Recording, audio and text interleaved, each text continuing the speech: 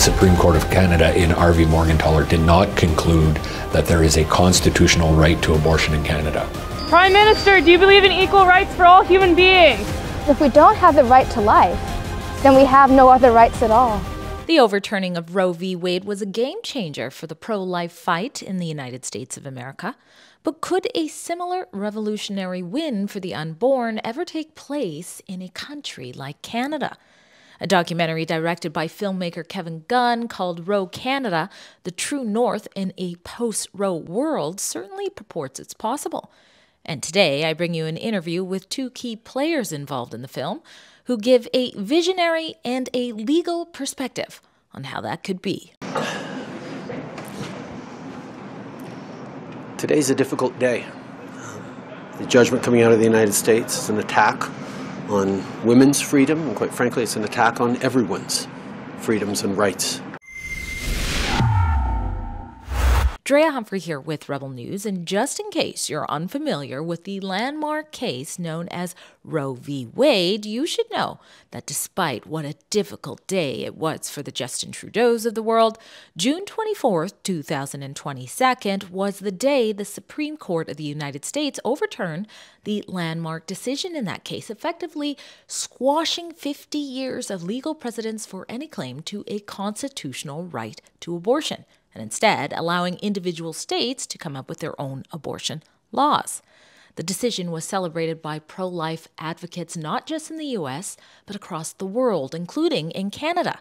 And joining me today to discuss how that win has impacted Canada's pro life movement will be the Canadian Campaign Life Coalition's Josephine Luetke, who is one of two principal investigators for this film, as well as U.S. Attorney Royce Hood. I've linked the details on how you can watch this full film on demand or even host a screening of the film if you'd like in the written article for this report, which is in the description box below. But for now, here's our interview. Now, I did watch the documentary, and it really does address one of the main questions I've seen people have on both sides of the debate in Canada. Is what we saw in the US with Roe v. Wade possible in this country? Why don't you start with what the inspiration was to go ahead and be the lead investigator for that documentary, or one of two, I should say? Yeah, so the overturn of Roe v. Wade was the biggest pro life development in my lifetime, mm-hmm. probably in the lifetimes of most of the viewers. And I think we, we felt the ripple effects of that decision here in Canada. Um, I did a lot of media interviews on the day that Roe v. Wade was overturned.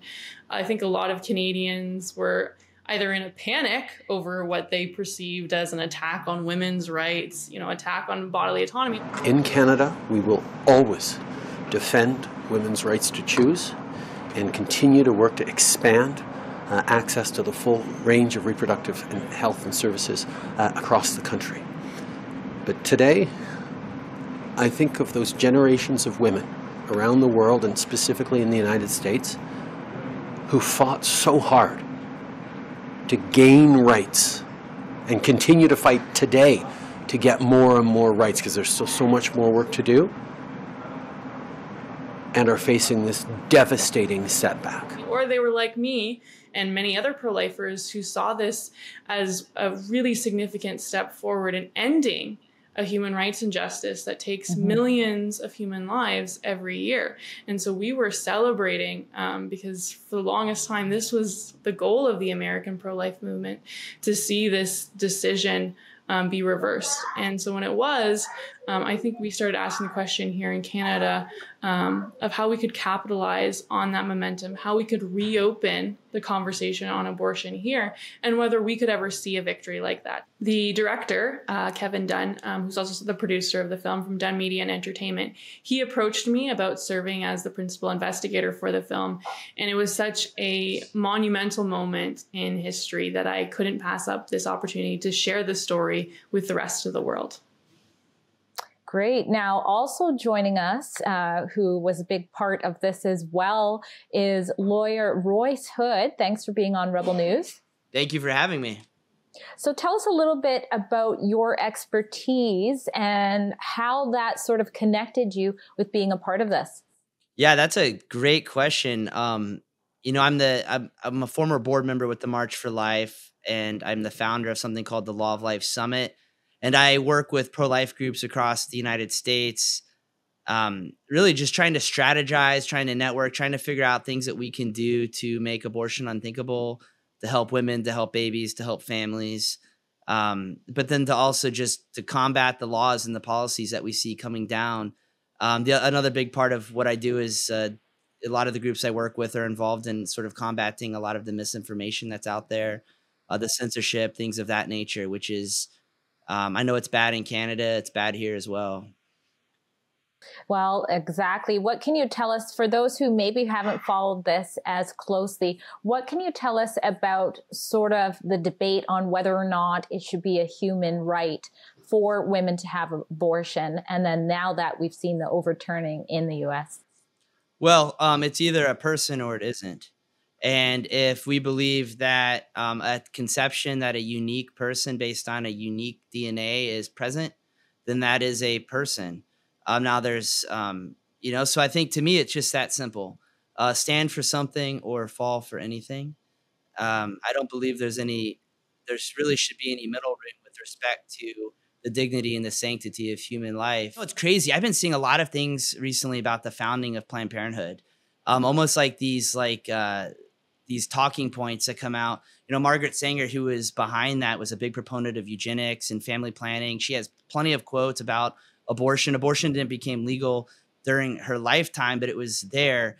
Um, so I, I think a lot of misinformation is like the origins of Planned Parenthood. What are they all about? I see things all the time that, you know, here in the US, oh, they provide cancer screenings and contraception and they do this, they do that. No, they don't. They don't do any of that stuff. They say they do, it's on their website. But if you look at their tax returns, if you look at their business model, they are an abortion business and they're very good at it. Um, and they target communities that, frankly, people should be appalled by. They target they target communities, you know, minority communities in particular. And I think that you know they are so good at the messaging another big thing is the associated press topical guide um, i don't know if you're familiar with this but here in the us the associated press put out a topical guide on how their reporters are to address abortion and for example uh, pro-lifers are not to be under any circumstances referred to as pro-lifers they are anti-abortion any good news related to a mom choosing life is not to be covered at all and there's literally a guide that you can look at it's a pdf that they use. And it's unbelievable when you read it and then you start looking at the headlines, you realize how much synergy there is on the pro choice side, how much strategy there is on the pro choice side. So I think we need to be vigilant. We need to make sure people understand that there are, despite what people like, um, are, we have uh, sitting senators here in the US that claim pregnancy centers are, you know, terrorism outlets basically and do nothing good for women. Well, we have tons of pregnancy centers right here in my in Illinois, where I'm located, that provide free pregnancy care, uh, free ultrasounds, clothing. It is. And when you mentioned the uh, misinformation about what exactly Planned Parenthood is offering to people, it uh, reminds me of a little clip I saw from pro life activist Kristan Hawkins, who's in this documentary as well. Let's throw to that where she proves someone who has one of those false beliefs wrong. Do you uh, still give her money? Resources, diapers. Do you give her daycare? Yeah, does Planned Parenthood do that, man? Yes. No, they don't. Daycare offers services that help They do not offer diapers or baby formula yes, or maternity do. clothes. I will bet you $10 million that they do not because I have gone into Planned Parenthood multiple times. Would you like to call Planned Parenthood right now and ask they them if they give diapers and formula? List. I don't care what you have Here. to say about it. You don't care what I have to say because you don't care about facts. I get that. But let no, me just call Planned Parenthood. Parenthood. your feelings, unfortunately. So the lives you think you're saving. Now, I'm calling Planned Parenthood. I'm calling Planned. Parenthood. Hold on, be quiet. No, I don't care what you have to say. Do you offer diapers or formula? Oh, oh we do not. Oh, I'm sorry.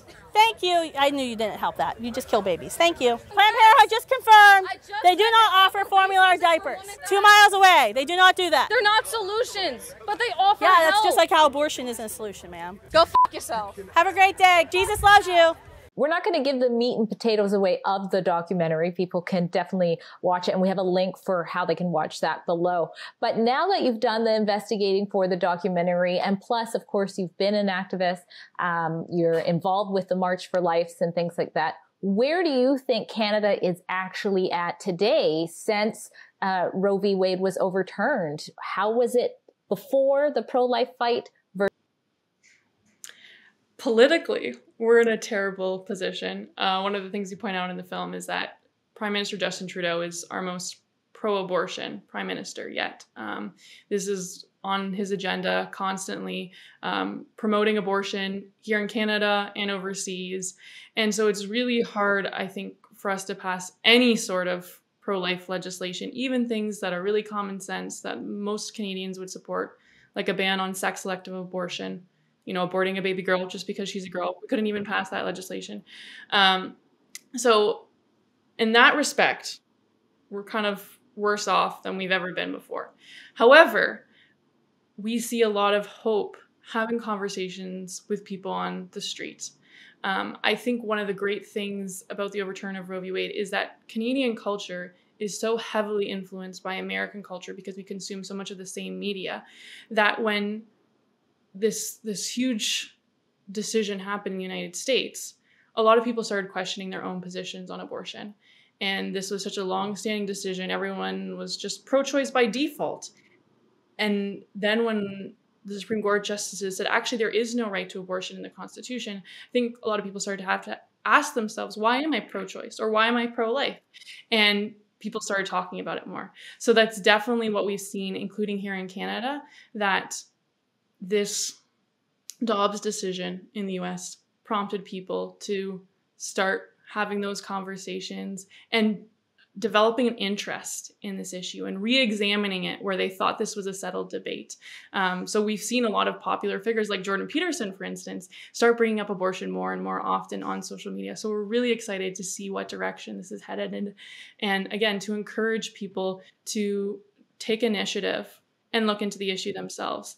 I think whether you're pro-life or pro-choice, we're talking about the killing of innocent human beings here objectively that's what it is and that's way too controversial to just you know form your opinion after like a five minute tiktok video. Like look into it. Do your own research. And we're we're confident that we will see protection for the preborn the more that this conversation is brought up. What's some common misinformation you're confronted with uh, when you are advocating for life?